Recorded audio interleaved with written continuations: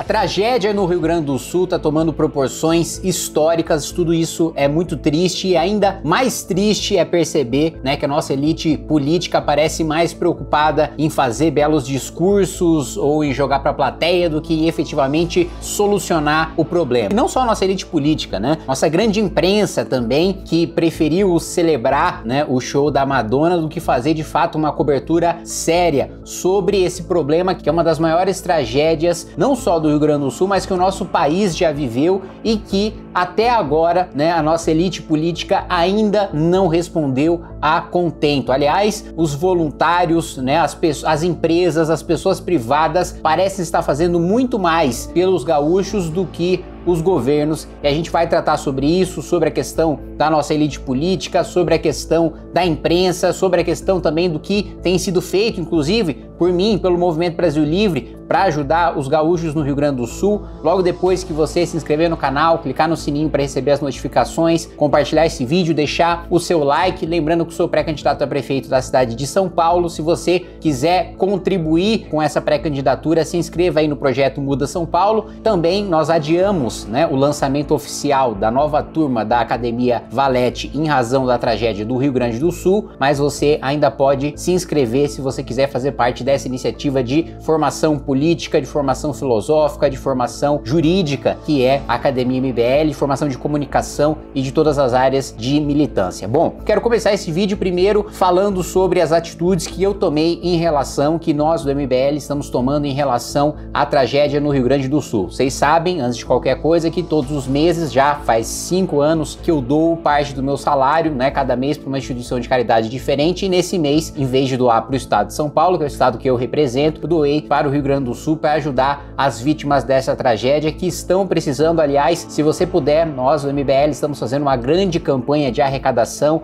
A chave do Pix está aí embaixo. Tudo que você enviar para esse Pix vai ser revertido para ajuda humanitária é, no Rio Grande do Sul, para ajudar as pessoas que estão precisando de resgate, para ajudar as pessoas que estão precisando de comida, de itens de higiene pessoal, para ajudar também no resgate de animais domésticos. Muitos deles estão sofrendo, muitos deles estão precisando de resgate, estão precisando de cuidados nesse momento difícil, para ajudar crianças também que estão passando por dificuldade. Algumas delas é, acabaram perdendo seus pais, outras ainda é, não sabem, né, onde estão seus pais, o que aconteceu com seus pais e também estão precisando da nossa ajuda. Para além disso disso, há também né, os projetos que eu apresentei aqui na Câmara dos Deputados para tentar auxiliar né, e buscar recursos para ajudar o máximo possível a população do Rio Grande do Sul. Né? Nós sabemos que temos aí um fundo eleitoral imoral de 5 bilhões de reais. Eu apresentei um projeto de lei para que cada centavo do fundo eleitoral seja revertido para socorrer todas as famílias gaúchas que estão sofrendo com essa tragédia hoje. Também apresentei um projeto de resolução para que a cota parlamentar, aquele recurso que os deputados têm à disposição todos os meses, cerca de 40, 50 mil reais, para carro, motorista, gasolina, comida, moradia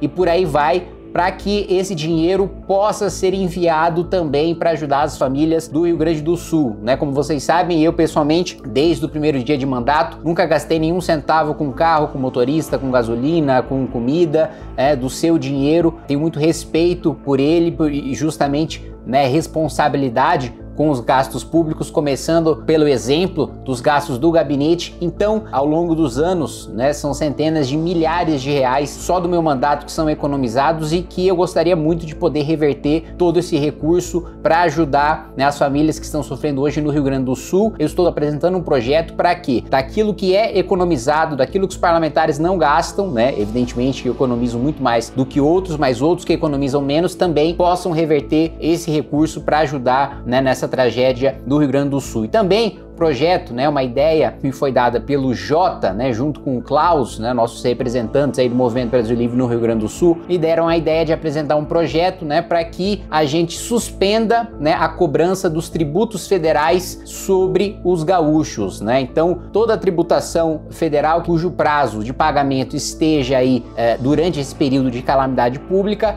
para que ele possa ser pago né, posteriormente para que as pessoas agora nesse momento de tragédia, né, se preocupem com as próprias vidas, com as próprias famílias, se preocupem na reconstrução do estado do Rio Grande do Sul em salvar vidas e não em pagar tributos e não em pagar impostos, né? Então, são algumas das iniciativas que eu apresentei, inclusive também articulando e desenhando aqui no meu gabinete uma PEC de orçamento de guerra, assim como nós fizemos à época da pandemia, para que todo socorro possa chegar no Rio Grande do Sul sem burocracia, né, sem demora e sem passar por todos os trâmites que geralmente repasses de recursos públicos precisam passar. Dito isso, eu queria falar uh, eh, para vocês aqui um pouco sobre a atuação do governo federal, que na minha avaliação tem sido absolutamente vergonhosa. Primeiro, né, nós temos promessa por parte do presidente Lula de que 614 milhões de reais né, vão ser liberados aí de emendas parlamentares para o Rio Grande do Sul. Primeiro ponto, essa não é nenhuma ajuda, esse não é nenhum recurso novo, esse não é nenhum dinheiro novo. Né? O pagamento de emendas parlamentares né, para a saúde do Rio Grande do Sul significa basicamente que o que o governo Lula está fazendo é executar um dinheiro que ele já executaria nesse ano, que já foi indicado por parlamentares gaúchos e que já iria financiar a saúde do Rio Grande do Sul. Então não é nenhum centavo a mais de ajuda, 614 milhões de reais em emendas que ele está simplesmente executando. Não é um novo orçamento que ele está alocando para o Rio Grande do Sul, é um orçamento que já estava previsto para a saúde gaúcha e que está simplesmente sendo executado. E um outro ponto, ainda que fosse dinheiro novo, vamos lembrar que só de orçamento secreto para compra de base parlamentar, o governo Lula gastou em 2023 5 bilhões e 400 milhões de reais, portanto muito mais dinheiro do que os 614. E mais do que isso, no ano passado o Rio Grande do Sul também sofreu muito com as chuvas, alagamentos e enchentes, claro, que numa proporção muito menor do que está acontecendo agora. E o Lula também tinha prometido ajudar né, o governo do Rio Grande do Sul a socorrer os seus cidadãos e essa ajuda não chegou até agora, a do ano passado. E agora ele diz, né, vai lá, faz o seu show, o seu espetáculo, sobrevoa com o jatinho da FAB lá junto com o Pacheco, junto com o Lira, para dizer que está preocupado com a tragédia, mas o orçamento voltado para ajudar as famílias que sofreram com toda a tragédia no Rio Grande do Sul no ano passado até agora não chegou. E mais do que isso, a ministra Marina Silva ainda achou por bem utilizar a tragédia como palanque eleitoral e dizer que a catástrofe no Rio Grande do Sul é culpa do governo Bolsonaro e da sua política ambiental. Se não tivéssemos tido quatro anos de apagão em termos de política é, climática, de política de prevenção, poderíamos estar numa outra situação com certeza. Primeiro, da infelicidade né, de uma ministra do Meio Ambiente, em vez de se solidarizar, em vez de tomar ações concretas para ajudar a população do Rio Grande do Sul, em vez de de fato contribuir com a prevenção de desastres, e não há nenhuma política séria de prevenção de desastres por parte do Ministério do Meio Ambiente, nem para o Rio Grande do Sul, nem em nenhuma parte do país, ela achou por bem utilizar a tragédia do Rio Grande do Sul como um palanque político eleitoral para atacar os seus adversários. Independentemente de críticas à gestão ambiental do governo Bolsonaro, não foi nada feito ou que deixou de ser feito durante o governo Bolsonaro que ocasionou a tragédia no Rio Grande do Sul. E mais do que isso, não é como se a ministra Marina Silva tivesse alguma moral para falar sobre política ambiental. Vamos lembrar, primeiro mandato do governo Lula, ela foi demitida por causa do recorde de desmatamento na Amazônia. E agora nós temos novas notícias, né? O Brasil tem recorde de queimadas nos primeiros meses de 2024. Foram mais de 17 mil incêndios florestais de janeiro a abril, mais da metade deles na Amazônia. A política ambiental, apesar de toda a propaganda e apesar de todo o discurso de Marina Silva, Marina Silva é uma farsa, é uma mentira. Né? A política ambiental do governo Lula é uma farsa, é uma mentira. Não há gestão ambiental. Pelo contrário, né? o que a gente está vendo são os servidores do IBAMA, os servidores do Ministério do Meio Ambiente entrando em greve em razão das condições precárias de trabalho às quais eles estão sendo submetidos. Não é apenas uma questão salarial, não é apenas uma questão de pedir aumento, é uma questão de ter equipamento, né? inclusive para combater crimes ambientais e grandes criminosos que ameaçam a vida desses servidores ambientais e o Ministério do Meio Ambiente não faz absolutamente nada. Então acho muito importante a gente pontuar isso, porque é nojento que a ministra Marina Silva, em vez de querer resolver o problema, em vez de ajudar as pessoas do Rio Grande do Sul, está mais preocupada em utilizar a tragédia como palanque político eleitoral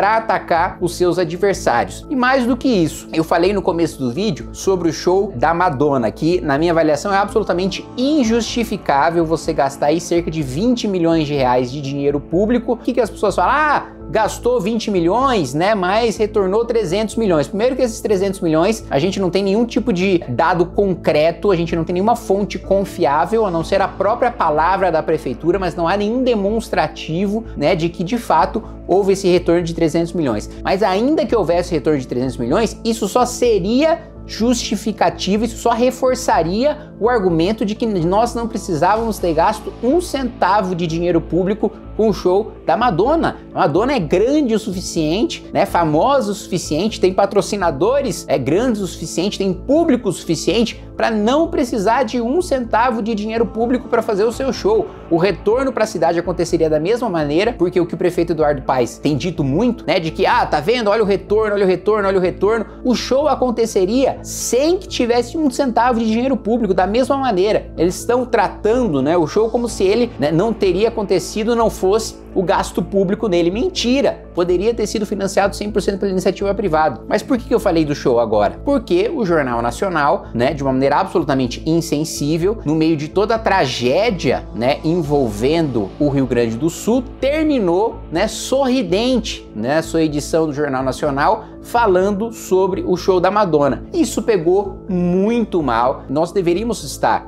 uma cobertura em relação a esse caso, como se tivesse explodido uma guerra aqui no nosso país, como se, como se fosse a, a cobertura é, da pandemia, né? De fato, você tem ali mais de 100 pessoas que já morreram, mais milhares de pessoas desaparecidas, mais centenas de milhares de pessoas perdendo as suas casas, perdendo seus móveis, perdendo seus bens, e isso deveria ser retratado com a devida importância, com a devida atenção. Aí a Rede Globo vendo todas as críticas que é, tem sofrido por ter terminado a edição do Jornal Nacional sorrindo e anunciando o show da Madonna, né? Com a maior cara de pau, vai lá o Bonner e grava um vídeo falando: olha, estou indo agora com os aviões da FAB levar ajuda, levar socorro para o Rio Grande do Sul, e além disso, vamos apresentar a nossa edição do Jornal Nacional do Rio Grande do Sul, que mostra a completa cara de pau e hipocrisia da Rede Globo, estava pouco se lixando para a tragédia do Rio Grande do Sul, que termina rindo uma edição do Jornal Nacional no meio de toda a catástrofe que a gente está vivendo, aí depois, para sinalizar para sua plateia, para se fingir de bonzinho, vai lá e viaja até o Rio Grande do Sul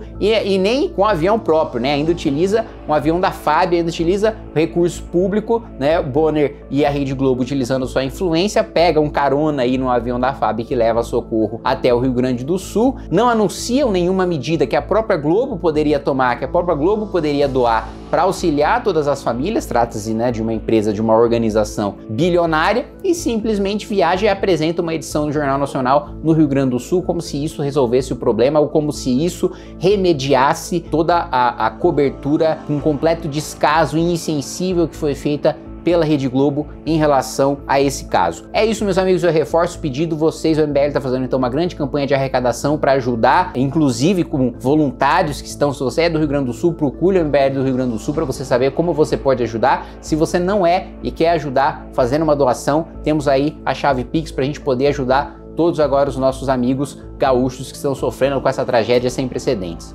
Fala pessoal, o negócio é o seguinte, é fundamental que você se inscreva no Clube MBL para receber os bastidores de Brasília antes dos veículos de imprensa. Você vai saber o que acontece no judiciário, no executivo, no legislativo, antes de qualquer pessoa e vai ter acesso a todos os nossos documentários, mini documentários e votações internas do MBL. É só clicar aqui no link que você vai conseguir assinar.